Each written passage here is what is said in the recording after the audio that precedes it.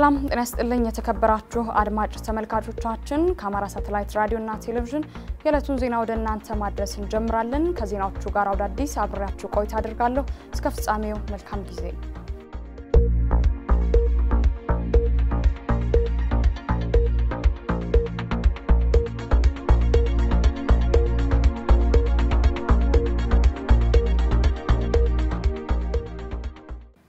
ወደ ዜናዎቹ አልፋለሁ። በኢትዮጵያ ባለፉት 24 ሰዓታት ውስጥ በተደረገ 1408 የላቦራቶሪ ምርመራ ተጨማሪ አንድ ሰው በቫይረሱ መያዙን የኢትዮጵያ ጤና ጥበቃ ሚኒስቴር አስታወቀ። ይህንንም ተከትለው በኢትዮጵያ የኮሮና ቫይረስ የተያዙ ሰዎች ቁጥር 131 የደረሰ ሲሆን ከበሽታው ያገገሙ ሰዎች ቁጥር ደግሞ 59 ደርሷል። ከኮሮና ቫይረስ ወረርሽኝ ጋር በተያያዘ በሀገር ውስጥና ከሀገር ውጭ ባሉ አጋር አካላት የሚያገኘው ድጋፍ በክልሉ በሚገኙ ሆስፒታሎች የሕክምና መገልገያ ቁሳቁስ ለማሟላት እየተሰራ መሆኑን የአማራ ክልል ጤና ጥበቃ ቢሮ አስታውቋል። ቢሮው ለለጋሽ አካላትና ድርጅቶች ምስጋና ያቀረበ ሲሆን ድጋፉ ቀጣይነት እንዲኖረው ጠይቋል። ስድስት team የተከፈለ sub team ያለው technical ቡድን አለ። ስለዚህ ከዛ ውስጥ አንዱ ያው የቅኝት ወይም surveillance team አለው። የህክምናና ብክለት መከላከል ቡድን አለው። የተግባቦትና የህዝብ ተሳትፎ የሚመራው ቡድን አለ። የህክምና ግብዓቶች እና ቁሳቁሶችን የሚያስተባብር ቡድን አለ። ከዛ በተጨማሪም የእቅድ በመከታተል የሚመራ ቡድን አለ። ከዛ ሌላኛው የእጅ መታጠብ ዋና ስትራቴጂ ስለሆነ የስነ ጽዳትና ስነ ንጽህናን የሚመራ ቡድን አለ ማለት ነው። ስለዚህ የ logistics team ወይም ደግሞ የህክምና ግብዓቶችን የሚመራው ደግሞ ለሁለት ተከፍሎ የህክምና ቁሳቁሶችንና የህክምና ውጭ ያሉ ግብዓቶችን የሚያስተባብር team አለ ማለት ነው። ይሄ እንግዲህ ከዚህ ከክልል ከየራሳችን ጀምረን አገር አልፎ በዓለም ደረጃ ያሉ ስለ አማራ የሚቆረቆሩ ስለ አማራ የሚያስቡ የአማራ ተወላጅ ሊሆን ይችላል፣ የአማራ ዲያስፖራዎች ሊሆን ይችላል። ይህን ሁሉ ያካተተ ነው እና በርካታ እንቅስቃሴዎች የተደረጉበት ነው። እሱም በደረጃው በቢሮ ደረጃ እንደ ቢሮ የምናንቀሳቀሰው ቲም አለ። እንደ ክልል ደግሞ የክልሉ የሀብት አሰባሰብ ግብረ ኃይል አለ። ከዛ ጋር ተቀናጅቶ ነው የሚሰራው ማለት ነው።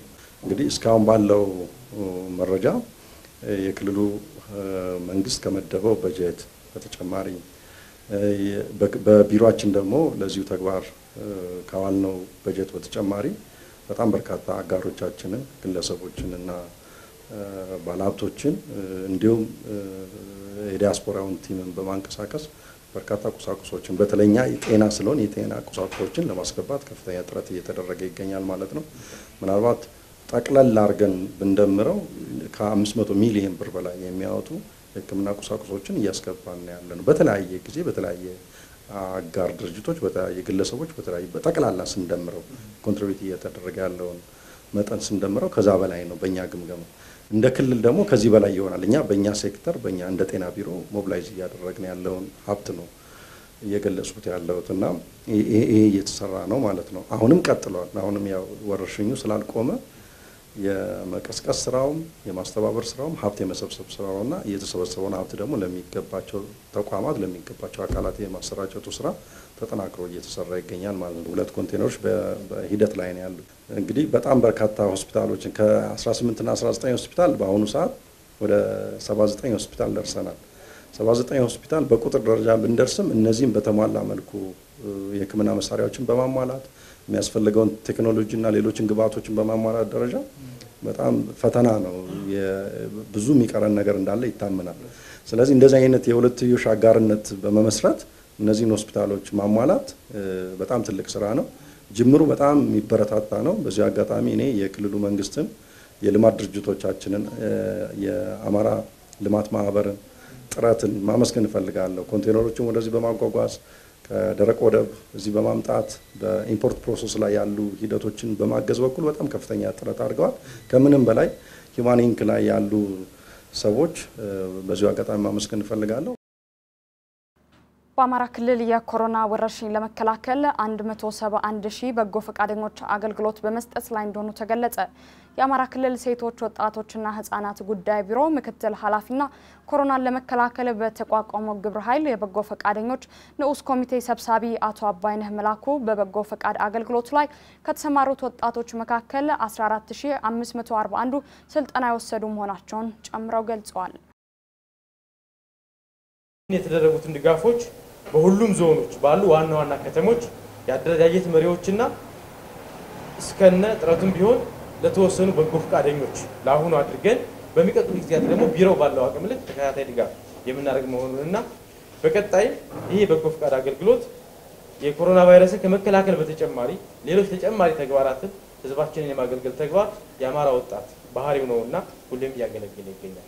ለምሳሌ በአዲስ መንገድ በንቅናቄ የገባንበት የደም ልገሳ ተግባር እስካሁን ድረስ በአደረጃጀቶችና በወጣት ሊጎች በወጣት ማህበራት አማካኝነት 466 የሚደርሱ በአንድ ሳምንት ውስጥ የደም ልገሳ ተግባራትን አካሂደዋል።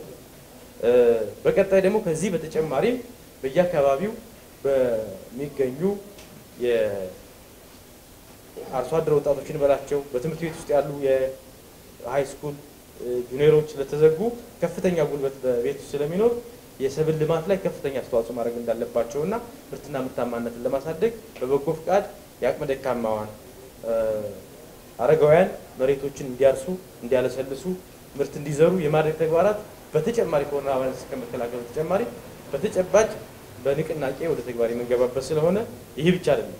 አሁን ወቅቱ ያለ እድሜ ጋብቻ የሚካሄድበት ያለ እድሜ ጋብቻ ቢሮችን ባለፉት ሀያ ዓመታት የሰራው ምርጥ ምርጥ ስራዎች ወደ ኋላ እየተመለሱ ነው ያሉት።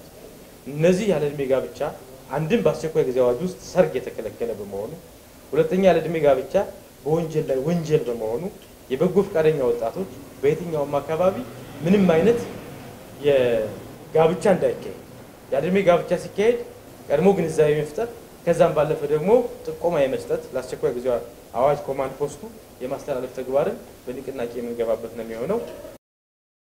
የኮሮና ቫይረስ ለመከላከል ከአዲስ አበባ ወደ ደብረ ብርሃን ከተማ የሚገቡ ግለሰቦች የሙቀት መጠናቸው እየተለካ እንደሚያልፉ ተገለጸ።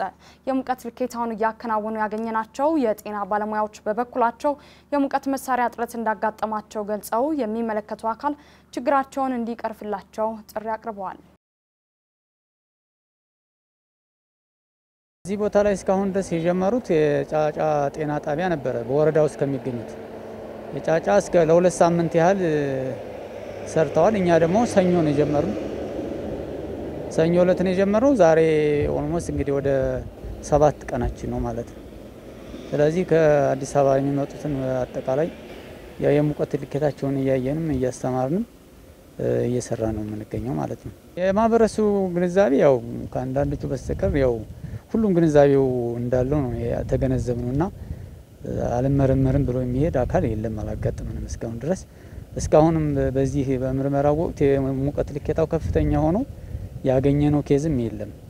እኛ የመመርመሪያ መሳሪያው በእርግጥ ጥረት አለ። አሁን ሁለት ነው በወረዳው ያለችው አሁን የምታያት ሁለታችን የምንሰራባት። ይህንን እንግዲህ ሁለት ጤና ጣቢያ እየተፈራረቀ ነው የሚሰራው። የጠዋት ሁለት ይመደባል፣ ከሰዓት በኋላ ሁለት ይመደባል፣ ከማታ ደግሞ አዳር ሁለት ባለሙያ ይመደባል። አጠቃላይ በቀን ስድስት ባለሙያ ይመደባል ማለት ነው። ያው ከመንገድና ትራንስፖርት ባለስልጣኖች ጋር በመተባበር ያው ባለሙያዎች አሉ፣ ከእነሱ ጋር እንሰራለን ማለት ነው። የሚቸግረው ነገር ብዬ የማስበው አሁንም እጥረቱ የሙቀት መለኪያው ልኬታው አሁን ያንሳል። ሁለት ቢደገም በወረዳው እኛ ደግሞ በዛ በላይ በእኛ አካባቢ ሆነን እንሰራ ነበር። አሁን ወደዚህ ወደ ጤና ጣቢያ ወደ ጫጫ ጤና ጣቢያ መተን ነው ቀረብ ብለን የምንሰራው። በዛ በኩል የሚያንፈው ማግኘት አልተቻለም ማለት ነው። ወደ ጊናገር ወደ ሀገረ ማርያም አካባቢ የሚሄደው በእኛ ላይ ነው የሚሄደው። ያ አልፎ በዛ ይሄዳል ማለት ነው። ወደ ያገኘው ይሄ ዋና መስመር ስለሆነ በሚል ይመስለኛል። ግን መሳሪያ ቢሟላ ደግሞ በዛ አካባቢ የሚያልፈው እንትኖች ተጓዦች ማየት እንችል ነበር እና ይሄ ጥረት አለ። ሌላው የማህበረሰቡ ግንዛቤ ጥሩ ነው።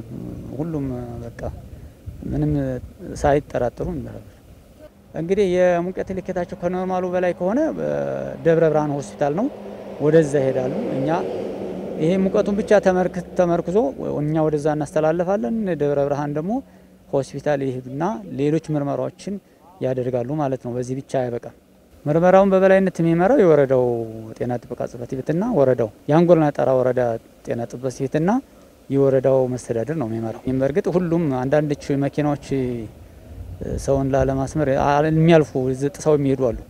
ያ በወረዳው አማካኝነት አሁንም ቁጥጥር እየተደረገ ሁሉም ሰው ቢመረመር የሚል መልእክት አስተላልፋለሁ። በእርግጥ ወረዳውም አሁን አጥብቆ ማንም የሚመጣ መኪና አያልፍ ሳይመረመር። ስለዚህ ይህን አጥብቆ እንዲከታተል የሚል መልእክቴን አስተላልፋለሁ። በቤንሻንጉል ክልል መተክል ዞን ላለፉት ዓመታት ተቀስቅሶ በነበረው ግጭት የተፈናቀሉ ዜጎችን ወደ ቀያቸው ለመመለስ የአማራና የቤንሻንጉል ክልል መንግስታት በጋራ እየሰሩ እንደሆነ የአማራ ክልል ሰላምና ደህንነት ቢሮ ምክትል ቢሮ ኃላፊ አቶ ገደቤ ኃይሉ ለአስራት ገለጹ። በአሁኑ ሰዓት በአንጻራዊነት የአካባቢው ሰላም እየተረጋገጠ መሆኑንና ግጭቱን በህብረተሰቡ መካከል ሳይሆን በውጫዊ ኃይሎች ምክንያት መሆኑን ገልጸው በግጭቱ የተሳተፉ ሰዎችን የማጣራትና ተገቢውን እርምጃ የመውሰድ ስራ እየተሰራ መሆኑን ገልጸዋል። በመተከል ዞን በኩል የሚታየው አለመረጋጋት ቆየት ያለ ችግር ነው። በአሁኑ ሰዓት ያለው ሁኔታ በሁለቱ ክልሎች መንግስታት መካከል በተሰራው የጸጥታ ስራ የተረጋጋ ሁኔታ ነው ያለው። በቀጠናው የሚታይ የጸጥታ ችግር በአሁኑ ሰዓት የጎላ የለም። ሁለቱም የክልል አመራሮች በጋራ በሰሩ ስራ ወደ ሰላማዊ ሁኔታ ነው ያለው። አሁን እየተሰራ ያለው ስራ በዋናነት የጸጥታ ችግር ማረጋጋት ሳይሆን ከአሁን በፊት በተፈጠሩ ችግሮች ምክንያት የተፈናቀሉ ዜጎች የመመለስ ስራ ነው እየተሰራ ያለው። እነዚህ የተፈናቀሉ ዜጎችን ከመመለስ አኳያም በየ በተለይም በዳንጉር እና በማንዱራ ወረዳዎች መረጃዎችን የማጥራት እና የተፈናቃዮቹ ወደሚመለሱበት ሁኔታ እና ሰላማዊ ኑሮቸውን ወደሚጀምሩበት ሁኔታ በመነጋገር እየተሰራ ነው ያለው። ህብረተሰቡም የተፈጠሩ ችግሮች ትክክል እንዳልሆኑና በጋራ በውይይት መፈታት እንዳለባቸው የጋራ መግባባት እየደረሰ ነው ያለው። በቀጠናው የሚታዩ በህብረተሰቡ መካከል የጎላ ችግር አለ ብሎ መውሰድ አይቻልም። ህብረተሰቡ በሚያነሳቸው ችግሮቹ ውጫዊ እንደሆኑና እነዚህ ውጫዊ ችግሮች ገፊ ኃይል እንዳለ የገፊ ኃይል ደግሞ በየደረጃው እየተገመገመ ህጋዊ እርምጃ እንዲወሰድ ሀሳብ እየሰጠን ያለው ከዚህ ተነስቶ በነዋሪ ህብረተሰብ መካከል አለመረጋጋት እንዲፈጠር የሚያደርጉ ኃይሎች፣ ቡድኖች እየተለዩ ወደ ህግ የሚቀርቡበት ሁኔታ እየተሰራ ነው ያለው።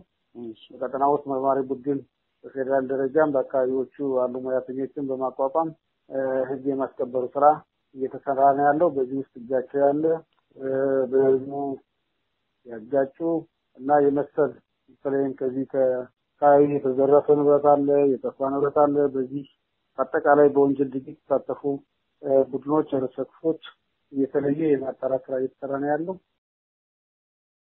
በአሰላ ከተማ ማንነትን መሰረት ያደረገ ቤትን የማፍረስና የማፈናቀል ተግባር እየተፈጸመ ነው ሲሉ የከተማዋ ነዋሪዎች ቅሬታቸውን ለአስራት ገለጹ። የደረሰብን በደል በማንነታችን ላይ አሰላ ውስጥ ቀበሌ 05 ላይ ለ55 ዓመት ከኖርንበት ቤት በማንነታችን በሃይማኖታችንም ጭምር የተፈጸመብን በደል ነው። በደሉ ቀደም ሲል ከሶስት ዓመት በፊት እናታችን ስትሞት ቤቱን ለወንድሜ ነበር የተላለፈው። ወንድሜም በስሙ አድርጎ ያ መረጃ አለ። ከክልሉ መስተዳደር የወሰድነው መረጃ፣ ከቀበሌ የወሰድነው መረጃ አለ። ወንድሜ ሲኖርበት ከቆየ በኋላ ሶስት ዓመት ሙሉ በዚህ ጉዳይ ላይ ሲያሰቃዩን ሲያንከራትቱን የነበሩ ሰዎች በተደራጀ ኃይል የጸጥታ አካልንም ጭምር በመጨመር ምሽት ላይ ከምሽቱ ሁለት ሰዓት ከተኩል አካባቢ ሲሆን ከትላንትና በስቲያ ቤቱን ሰብረው ወንድሜ ለስራ በወጣበት ቤቱን ሰብረው ገብተው ጥይት ሁሉ በመተኮስ ውስጥ የነበሩ ሰዎችን በማስጨነቅ የአካባቢ ሰው መጥቶ ሁሉ ይሄ ወንጀል ለምን ይፈጸማል ብሎ በመከላከል ላይ ያለ የአካባቢ ሰው ድብደባ ደርሶበታል። ጠቅላላውን የደረሰብን በደል ይሄ ነው የሚባል አይደለም። ከሶስት ዓመት ጀምሮ አሁን ቤቱን ራሱ መስተዳድሩ አሽጎ እቃውን አውጥቶ ቤቱ ታሽጎ ነው ያለው። እየደረሰ ያለው ግን በማንነት ላይ እዛ አካባቢ ላይ ይሄ ብቻ አይደለም። ይሄ እንደ ትንሹ ማሳያ ነው። ከዚህ የከፋ ነገር የተደረገ ነው ያለው። እኔ የክልሉ የከተማው ከንቲባ የሚደረጉትን ግፎችና በደሎች በጥሩ አመለካከትም ከአንዴም ሁለቴም ለማነጋገር ሞክረናል። ጥሩ አመለካከት አላቸው። ይህን ነገር ፈትሸውት አይተውት ነገሮች ወዳልተገባ አቅጣጫ እንዳይሄዱ እዛ ጋር መንግስትንም ክልሉንም የማይመጥን ስራ የተሰራ ስለሆነ ያለው የከተማውን መስተዳደር የማይመጥን ስራ ስለሆነ የተሰራ ያለው የጸጥታ አካላትን በመጠቀም የሚደረጉ የዘር ማጥፋት፣ የማንነት ማጥፋት ብዙ ማሳያ መጥቀስ ይቻላል፣ ከአሰላ እስከ ተለያዩ ቦታዎች ላይ። ስለዚህ እነዚህ ነገሮች እኔ በአስቸኳይ ታርመው የሚደርሰውም ግፍ ደግሞ በደል ይሄ በማንነት ላይ የተኮረ ስለሆነ እኔ ይህንን ለማለት ነው ዛሬ እዚህ የተገኘሁት። ከባድ ነው ያለው ነገር፣ አስቸጋሪም ነው። ወዳልተፈለገም ነገር ሊወስደን ይችላል። ሌሎች ሰዎችም ይሄ በደል ይሄ ግፍ እየደረሰባቸው ነው ያሉት እና ዞር ብሎ ማየት የተሻለ ይመስለኛል። አብሮ መኖር እስከተቻለ ጊዜ ድረስ አብሮ ለመኖር እስካስፈለገ ጊዜ ድረስ ነገሮችን በጥሞና ቢታዩ ይሻላል የሚል ነገር ነው ያለኝ። በዋናነት ይህንን ጉዳይ የአማራ ክልል መንግስት ስለ አማራው ያገባኛል የሚለው ሊያየው ይገባል። በተበትኖ በሌላ ክልል ያሉ አማራዎችን ጉዳይ ሊያየው ይገባል። አማራው ላይ እየደረሰ ያለውን በደል ትናንት ከትላንትና ወዲያ በዶዶ ላይ የሰማነው ኬዞች አሉ። ስለዚህ እነዚህ ሁሉ አማራው ላይ የሚደርሰውን ግፍና በደል የአማራ ክልል መንግስትም አንድ የክልሉ መንግስት ባሉበት ክልልም ያሉት መንግስታት አስተዳደሮች ሊፈትሹት ሊያዩት ይገባል። አለዛ ግን ከባድ ሁኔታ ነው የሚፈጠረው። የማይሆን የማይሆን አቅጣጫ ነው የሚይዘው። በደሉና ግፉ ስለ አማራው ደግሞ ይመለከተኛል፣ ያገባኛል የሚለው ሁሉ አማራ አገሩ ሁሉም አገር ተበትኖ ነው ያለው። ስለዚህ ስለ አማራው ሊቆረቆር ሊያገባው ስለ አማራ ጉዳይ ይመለከተኛል የሚል በተለይ በተለይ አሁን ስልጣን ላይ ያለው የአማራ ክልላዊ መንግስት ይህንን ጉዳይ በአጽንኦት ሰጥቶት እንዲያዩ ይገባል። ተመልካቾቻችን በጉዳዩ ላይ ወደ አሰላ ከተማ ከንቲባ አቶ ገብረ ኤርጌሳ የእጅ ስልክ በተደጋጋሚ ብንደውልም ስልካቸው ባለመስራቱ ምላሽ ለማግኘት ያደረግነው ጥረት አልተሳካም። ሆኖም የከተማ አስተዳደር በቀረበው ቅሬታ ላይ መረጃ የሚሰጠን ከሆነ በዜናችን አካተን የምናቀርብ ይሆናል። ምክር ቤቱ የኢትዮጵያ ብሔራዊ ምርጫ ቦርድ ያቀረበውን የውሳኔ ሀሳብ በአብላጫ ድምፅ አጸደቀ። የኢትዮጵያ ብሔራዊ ምርጫ ቦርድ የጠቅላላ ምርጫን ማካሄድ አልችልም ማለቱን ተከትሎ የቀረበውን የውሳኔ ሀሳብ በአንድ ተቃውሞና በ18 ድምፀ ተአቅቦ በአብላጫ ድምፅ አጽድቋል። ምክር ቤቱም የኢትዮጵያ ብሔራዊ ምርጫ ቦርድ የጠቅላላ ምርጫን በተመለከተ ያቀረበውን የውሳኔ ሀሳብ መርምሮ የመፍትሄ ሀሳብ እንዲያቀርብ ለሕግ ፍትህና አስተዳደር ጉዳዮች ቋሚ ኮሚቴ ውሳኔ ቁጥር 8 2012 ዓ ምረት ሆኖ በሶስት ተቃውሞና በሰባት ድምፀ ተአቅቦ በአብላጫ ድምፅ መርቶታል። ዘገባው የኢትዮጵያ ዜና አገልግሎት ነው። ስልጣንን በህገ ወጥ መንገድ ለማራዘም የሚደረግ ሙከራ በአስቸኳይ ይቁም ሲል የአብሮነት ለኢትዮጵያ ፌዴራላዊ አንድነት አሳሰበ። ኢትዮጵያ በአስቸኳይ ጊዜ አዋጅ ስር ሆና የኮሮና ቫይረስ ስርጭትን ለመከላከልና ለመቆጣጠር ከፍተኛ ጥረት እያደረገች በምትገኝበት በአሁኑ ወቅት ገዢው ብልጽግና ፓርቲ የስልጣን ዘመኑን በህገወጥ መንገድ ለማራዘም የሚያስችለውን ጥረት ለህዝቡ ይፋ ባልሆነ መንገድ እያደረገ ስለመሆኑ መረጃዎች እየደረሱት እንደሆነ አብሮነት አስታውቋል። ገዢው ፓርቲ በአገሪቱ ህገ መንግስት ከተሰጠው ስልጣንና መብት ውጪ በሶስት አማራጮች ስልጣኑን ለማራዘም እየሞከረ እንደሚገኝም ተገልጿል። ከመስከረም 30 ቀን 2013 ዓ.ም በኋላ ለአንድም ቀን በስልጣን ላይ የሚገኘውን መንግስት እድሜ ለማራዘም የሚያስችል ምንም አይነት ድንጋጌ በሀገራችን ህገ መንግስት ውስጥ የለም ሲል አብሮነት ትብብር ሚያዝያ 21 ቀን በሰጠው መግለጫ አስታውቋል። በድሬዳዋ ከተማ ከሚያዝያ 20 ቀን 2012 ዓ.ም በተደራጁ ቡድኖች እንደ አዲስ በከተማዋ ነዋሪዎች ላይ የሚፈጸመው ጥቃት ሶስተኛ ቀኑን አስቆጥሯል። ቡድኑ የነዋሪዎችን ቤትና ንብረት እየዘረፈ ሲሆን አካላዊ ጥቃትም እየፈጸመ እንደሆነ የጥቃቱ ሰለባዎች ለአስራት ተናግሯል። በከተማዋ ከቅርብ ጊዜ ጀምሮ ይህ የተደራጀ ቡድን ጥቃት ሲፈጸምበት ቤት ንብረት ሲዘርፍ የከተማ አስተዳደሩም ሆነ የጸጥታ መዋቅሩ ወንጀለኞችን በቁጥጥር ስር አውሎ ለፍርድ እንደማያቀርባቸው ነዋሪዎቹ ይናገራሉ። በተለይ የጸጥታ አካላት ፖሊስን ጨምሮ ከጥቃት አድራሽ ቡድኖች ጋር በጋራ እንደሚሰሩ የሚናገሩት ነዋሪዎቹ ሕግን ከማስከበር ይልቅ ብሔርን መሰረት ያደረገ ጥቃት እንደሚፈጸም ተናግረዋል። ትላንትና በቃ መጡ። ሰው ሁሉ ቤቱ ገብተዋል። ከሰዓት አካባቢ ነው፣ አመሻሽ አካባቢ ማለት ነው። ማንም ባልገመተበት ሁኔታ ነው። በቃ በብዙ ሺህ የሚሆኑ ሰዎች በየተለያየ አቅጣጫ መጥተው ሰፈሩን ቀውጢ ያደረጉት። ያልተመታ ቤት የለም። even ሁለት ሶስት ቤቶች ተዘርፈዋል። ንብረት ምናምን እንደዚህ ወድሟል። የተፈነከቱ እጃቸው እግራቸውን በድንጋይና በእንትን የተመቱ ብዙ ሰዎች አሉ። ኢቭን ድርጮራ ሜደች ማረጋገጥ ይቻለች የገቡት ሰዎች እና ይሄ ሁሉ ነገር ሲደረግም አንድም የተያዘ አንዱም እንዲህ ነው አንዱም ምክንያታቸው ይሄ ነው ብሎ ግን መጥቶ ያናገረን የመንግስት አካል የለም። ጭራሽ የመንግስት አካል ተብዬዎች ፖሊስና ፌዴራል ማለት ነው መጥተው ጭራሽ የተጎጂውን ህብረተሰብ ነው እንዲያውም እያጠቁና እየቀጠቀጡ የነበሩት ሁሉ እና እኛም በቃ ከጣራ ጣራ እየዘለልን ምናምን አምልጠን ነው ከሰፈር የወጣን። አሁን ሁላችንም ሰፈር ለቀናል እኮ አልኩሽ። በቃ ማንም ሰፈር ውስጥ ጎረምሳ ወጣት የሚባል የለም። አሮጊትና ህጻናት ብቻ ናቸው ሰፈር ውስጥ ያሉት። ኧረ ምንም አይነት የጸጥታ አካል የለም አልኩሽ። ሁሉም ደግሞ ይሄ information አላቸው፣ በደንብ ያውቁታል። ይሄ ነገር ዛሬ የተጀመረ ነገር አይደለም። ታውቂያለሽ፣ almost ሁለተኛ አመቱ አካባቢ እያስቆጠር ነው። ያው ከመንግስቱ ለውጥ ጋር በተያያዘ መልኩ ማለት ነው። almost አሁን ላይ የጂሃድ አይነት ነገር ነው። even ትላንትና ከትላንት ወዲያችን ሁለት ሶስት ቀን ደግሞ የነበረው ማለት ነው። በጣም በ mass መጥተው በጣም ከምታስቢው በላይ ማለት ነው። የሰው ልጅ ከሰው ልጅ የማትጠብቂው አይነት ነገር የለም። በቃ የማይመታ የማይደበደብ ሰው የለም። የማይቀጠቀጥ ቤት የለም። የማይዘረፍ ቤት የለም። ከዚህ በፊት ብዙ ቦታ ደርሰናል። በተለይ ጸጥታ ዘርፍ ይሄ ምናምን ምናምን ፖሊስ ኮሚሽን የምትይው ከሁሉም ነገሩ አሳውቀናል፣ ያውቁታለን በሚገባ ማለት ነው። ግን still ምንም አይነት መፍትሄ ያልተገኘለት ነገር ነው። ባለችው ሰዓት ይመጣሉ፣ ቤት ይጠቁማሉ፣ ይሄዳሉ፣ ይዘርፋሉ። ስንት ሰው ነው የሞተው? ስንት ሽማግሌ ነው የሞተው? ስንት ሰው ነው አካለ ስንኩል ሆኖ ጥይት በእግራችን ውስጥ እየገባ በእጃችን ውስጥ even ትናንት ትናንት ወዲያ እንኳን ስንት ሰው ነው የተፈነከተው? even በ refer ደረጃ ሁሉ በጥይት ተመተው ሴት እህቶቻችን ትላንት ዛሬ ማታ ምናምን ትላንት ማታና ትላንትና ወዲያ ወደ አዲስ አበባ ሪፈር ተብለው ሁሉ ሄደዋል። ይሄ በቃ በአራት አምስት አቅጣጫ ነው። በጣም በሚገርም ሁኔታ ማለት ነው። ጥቅጥቅ ብለው መጥተው ከተለያየ ቦታ ተደዋውለው ተጠራርተው መጥተው ሰፈሩን ቀውጢ ያደርጉት እና በቃ በተለያየ አቅጣጫ ገብተው ሰፈሩን ቀውጢ ያልተቀጠቀጠ ያልተመታ ሰው የለም። ሚያዝያ 21 ቀን 2012 ዓ.ም በአካባቢው የተደራጀ ቡድን ዝርፊያ ሲፈጽም ያዩት የአካባቢው ግለሰቦች ለሕግ አካል ቢያሳውቁም ፖሊስ ሁከቱ ከበረደ በኋላ በመምጣት በተጎጂዎች ላይ አነጣጥሮ ጥይት በመተኮስ የአንድን ወጣት ሴት የቀኝ እጅ በመምታት አጥንቷ እንደተሰበረና ወደ ጥቁር አንበሳ ሆስፒታል ከፍተኛ ሕክምና ለማግኘት እንደተላከች ተናግራለች።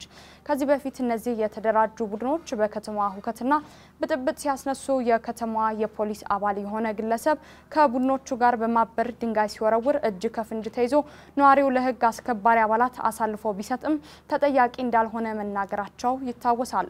ነዋሪዎቹ በተደጋጋሚ ጊዜ የፌዴራል መንግስቱ የከተማ አስተዳደሩ መዋቅር ሊፈተሽ ይገባል ብሏል። ስለ ጉዳዩ የድሬዳዋ ከተማ አስተዳደርና የከተማ ፖሊስ ኮሚሽንን ለመጠየቅ ተደጋጋሚ የስልክ ጥሪ ብናደርግም ስልካቸውን ባለማንሳታቸው ምላሹን ማካተት አልቻለም። ስለሆነም በጉዳዩ ላይ ማብራሪያ ሊሰጠን የሚችል አካል ካለ በዜና ዘገባችን አካተን የምንመለስ ይሆናል። ዘገባው የሪፖርተራችን ገነት አስማማው ነው። በአማራ ክልል ለመኸር እርሻ የሚሆኑ የዘርና የማዳበሪያ ግብዓቶች ስርጭት እየተከናወነ መሆኑን የክልሉ ግብርና ቢሮ አስታወቀ። አርሶ አደሩን ከኮሮና ወረርሽኝ ጋር በተያያዘ የግብዓት እጥረት ያጋጥማል የሚለውን ስጋት ሊያሳስበው እንደማይገባና በግብርናና በጤና ባለሙያዎች የሚሰጠውን ምክር ሀሳብ በመቀበል ጥንቃቄ በተሞላበት መንገድ የእርሻ ስራውን ማከናወን እንዳለበት ቢሮ ገልጿል። በተለይ ኮሮና ወረርሽኝ ከመግባቱ በፊት እቅድ ተይዞ ወደ ስራ ተገብቷል። ነገር ግን ኮሮና ወረርሽኝ ከገባ በኋላ ያው እንደገና እቅዳችን መከለስ ስለሚያስፈልግ እቅዳችንን ከልሰን አሁን ካለው ነባራዊ ሁኔታ ጋር አርሶ አደሩን በተናጠል ከዚህ በፊት በጅምላ እንደማግኘት ሳይሆን እያንዳንዱን አርሶ አደር በተናጠል በማግኘት ውይይት ማድረግ በተለይ የልማት ቡድን ተጠሪዎች የልማት ቡድን የአንድ ለአምስት ተጠሪዎቹ አርሶ አደሩ አንድ ባንድ በፊት አንድ ለአምስት የምናደርገውን ቀንሰን አዋጁንም ተከትለን በጣም ቢበዛ አራት ሰዎች በአንድ ላይ በመወያየት ወደ እርሻ ስራ እንዲገቡ በማድረግ ይህን ስራ እየሰራ ነው ያለ ነው። እንግዲህ አሁን ትልቁ ነገር ከዚህ በፊት እንደሚታወቀው አርሶ አደሩ በስፋት የሚገናኝበት የሚገናኝበት ቦታ የግብዓት የሚያገኝበት አካባቢ ነው። ስለዚህ የግብዓት የሚያገኝበትን አካባቢ እንደ በፊቱ በጅምላ እንዲመጣ አይደለም እያሰብን ያለ በጎጥ ለምሳሌ ሀ የምትባል ጎጥ ካለች በሰኞ ትወስዳለች፣ ለምትባል ጎጥ ካለች ማክሰኞ እንዲህ እያለን እየከፋፈልን የማህበራዊ ርቀቱን ጠብቆ አርሶ አደሩ አንድ ባንድ እንዲወስድ እያደረግን ያለን አንዱ እየሰራ ነው ያለው ሁኔታ ነው። ይህን እንግዲህ በአንድ ጊዜ በአንድ ሌሊት የሚያልቅ አይደለም። ደጋግመ ደጋግመ በመነጋገር አርሶ አደሩን ከመሆኑ አኳያ ይህን ስራ ነው ያለ። ሌላው ዘር ነው። ዘርን በተመሳሳይ አንደኛው በዘር የሚሸጥባቸው ወኪሎች አሉ። ሌላው ማህበራት ናቸው ላይ ነው የሚገኙ። ዘርን በተመሳሳይ አርሶ አደሩ ብዙ ጊዜ የሚገናኘው ማዳበሪያና ዘር ሲፈልግ ነው። ከዚያ ውጭ ማሳው ላይ ያው በተናጠል ነው የሚሰራ። ስለዚህ እዚህ አካባቢ የበለጠ focus አድርገን አጥብቀን ይዘን ስራ እየሰራ ነው። በተደጋጋሚ ከዞን አመራሮች ጋር ከወረዳ አመራሮች ጋር እስከታች ድረስ መልእክቱ እንዲስተላለፍ በየቀኑ ያው የግብረ መልስ የስልክ ልውውጦች አሉ። እሱን ስራ እየሰራ ነው። እንግዲህ ይህም ሆኖ አሁን ስናየው የስርጭቱ የማዳበሪያም ስርጭቱ የእርሻ ስራ እንቅስቃሴው እስካሁን ድረስ የታገተ ነገር የለም። ጥሩ ነው። ቅድም እንዳልኩ የግብርና ስራ ያው በአብዛኛው በፊት ደቦ በደቦ የሚሰራው በጋራ የሚሰሩ ስራዎችን አሁን እሱን አካባቢ እንዲቀንሱ አድርገናል። የተለመደው በጋራ ለምሳሌ ሶስት አራት ሰዎች መሬታቸው ከተዘጋጀ በኋላ በጋራ የሚያርሱበት በጋራ የሚዘሩበት ስርዓት ነበር። ይሄ የቆየ ስርዓት ነው። አሁን ግን በተሻለ መጠን ያው ቤተሰቡን ይዞ አርሶ አደሩ ተሰማ የሚባል ግለሰብ አርሶ አደር ካለ ተሰማ የሚባለው አርሶ አደር ቤተሰቦችን ይዞ እንዲዘራ እንዲያርስ ይህን ስራ ያው ግንዛቤ እየተፈጠረ ነው። በተሻለ መጠን አሁን በተጨባጭም መስክ ወጠን ስናይ እንደዚህ አይነት ሁኔታዎች አሉ። ይህን ስንሰራ ያው እንግዲህ አሁን በአርሶ አደሩ ዘንዳ በሌላው አመራር ዘንዳ የሚታዩ ዝንባሌዎች ከማዳበሪያ ከምርጥ ዘር ጋር በወረርሽኝ በምንድነው በኮሮና ቫይረስ ምክንያት ወረርሽኝ ምክንያት ማዳበሪያ የማይመጣም ዘር የማይመጣም የሚሉ አሉባልታዎች አሉ። እነዚህ አንደኛ በክልላችን እስካሁን ድረስ እንኳ እስከ ትናንት ነው ያለ መረጃ እስከ አራት ነጥብ አንድ ሚሊዮን ኩንታል የሚሆን ማዳበሪያ በክልላችን ውስጥ አለ። ሶስት ነጥብ ሶስት የሚሆነው ሶስት ነጥብ ሰባት የሚሆነው በአዲስ የገባ ነው።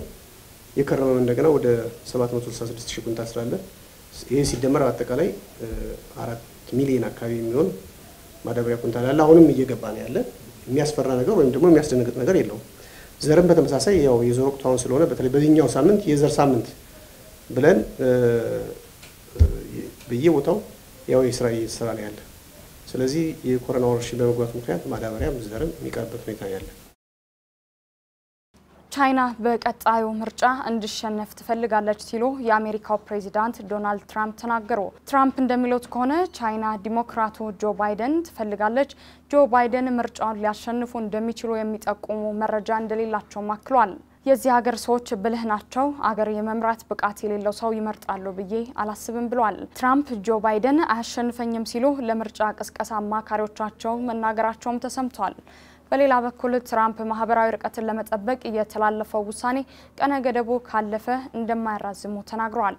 ከአንድ ወር በላይ ከዋይት ሀውስ ያልወጡት ትራምፕ በቀጣይ ሳምንት ወደ ኦሪዞና የመብረር እቅድ እንዳላቸው አስታውቋል። ፕሬዚዳንቱ በቀጣይ ወራት ብቻ ሺዎች የሚታደሙበት የምርጫ ቅስቀሳ እንደሚያካሂዱም ጠቁመዋል። አሁን በዓለም ካለው የኮሮና ቫይረስ ስርጭት አንድ ሶስተኛው በአሜሪካ ይገኛል። ከ60 ሺህ በላይ ሰዎችም ሞተዋል። በተጨማሪም 26 ሚሊዮን ነዋሪዎች አጥ ሆነዋል ሲል ቢቢሲ ዘግቧል። በዓለም ከኮቪድ-19 ወረርሽኝ ያገገሙ ሰዎች ቁጥር ከአንድ ሚሊዮን በላይ ሆኗል።